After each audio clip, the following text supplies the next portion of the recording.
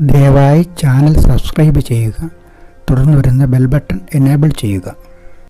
ഇന്ന് പറയുന്നത് നാഗയക്ഷി മന്ത്രമാണ്. യക്ഷികൾ പലവിധമുണ്ട്. നാഗങ്ങളുടെ കോപത്താൽ ഉണ്ടാകുന്ന ദോഷങ്ങളെ ഇല്ലായ്മ ചെയ്യുന്നതിനായി നാഗയക്ഷി മന്ത്രം ജപം ചെയ്യാം. ചില സർപ്പദോഷത്താൽ സന്താനങ്ങൾ ജനിക്കാതിരിക്കുന്നതും വിവാഹം സാധ്യമാകാതിരിക്കുന്നതുമൊക്കെയാണ് പ്രധാനമായ സർപ്പദോഷങ്ങൾ. മന്ത്രവിധികളിൽ പലവിധമായ യക്ഷികളെക്കുറിച്ച് പരാമർശങ്ങളുണ്ട്. പുരുഷന്മാരെ ആകർഷിച്ച് നശിപ്പിക്കുന്ന യക്ഷികൾ. യക്ഷമണ്ഡലത്തിൽ ഗന്ധർവന്മാരെ വിവാഹം ചെയ്ത് ഭൂമിയിൽ വരാതെ യക്ഷമണ്ഡലത്തിൽ തന്നെയുള്ള യക്ഷികൾ. ഭൂമിയിൽ പല രൂപം പൂണ്ട് എത്തുന്ന യക്ഷികൾ. ഉപാസകനെ അനുഗ്രഹിക്കുന്ന ദേവീ തുല്യരായ യക്ഷികൾ. അങ്ങനെ പലവിധമായ യക്ഷികളുടെ കഥകളും ഉപാസിക്കേണ്ട രീതിയും മന്ത്രങ്ങളും ഒക്കെ വ്യത്യാസപ്പെട്ടിരിക്കുന്നു. ഇനി പറയുന്നത് നാഗയക്ഷി മന്ത്രങ്ങളാണ്.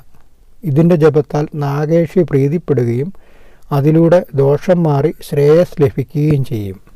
ധ്യാന ശ്ലോകം പറയുന്നു. ജപാകുസുമ സൽഭ്രഭാങ്കലിതം ചാരി രക്താംബരാം ജ്വലത് ഭുജംഗഭൂഷണം ഫണിലസത് മണിദ്യോതിതാം വരാഭയാം കരദ്വയാം കനകകുംഭതുംഗസ്തരീം സ്മരാമി വിഷനാശിനിയും മനസ്സി നാഗയക്ഷിണിയും സദാ. ഈ ധ്യാന ശ്ലോകത്തിന്റെ അർത്ഥവും മൂർത്തി രൂപവും പറയുന്നു. ചവൂഷപത്വാൽ പ്രകാശിക്കുന്നവളും മനോഹരമായ ചുവന്ന ആകാശത്തിന്റെ നിറത്തോടെയും ശരീരത്തെ ഭണം മണിനാഥം ഇവയുടെ പ്രഭയുള്ള ആഭരണങ്ങളോടെയും രണ്ട് കൈകളിലും അഭയവും വരതവും ധരിച്ച് സ്വർണകുടമുയർത്തിയും വിരാജിക്കുന്ന വിഷങ്ങളുടെ നാശകയുമായ നാഗേക്ഷിയെ ധ്യാനിക്കുന്നു.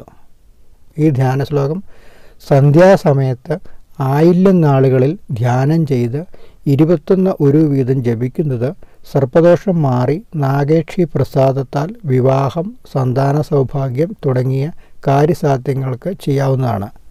കൂടുതൽ മന്ത്രിപതികൾക്കായി ചാനലിലെ മറ്റ് വീഡിയോകൾ സന്ദർശിക്കുക.